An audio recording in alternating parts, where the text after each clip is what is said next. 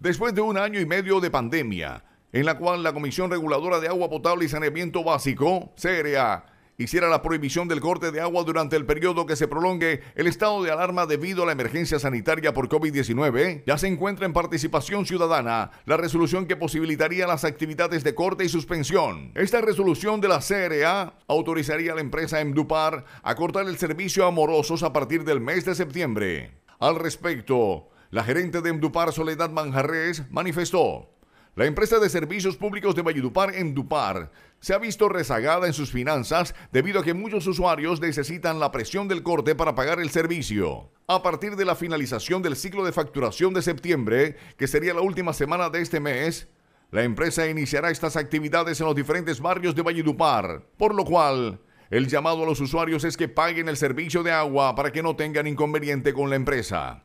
el servicio de agua que es fundamental, por lo cual debe ser el primero que paguen los vallenatos, por eso pedimos sentido de pertenencia por la empresa, reiteró la gerente de Emdupar.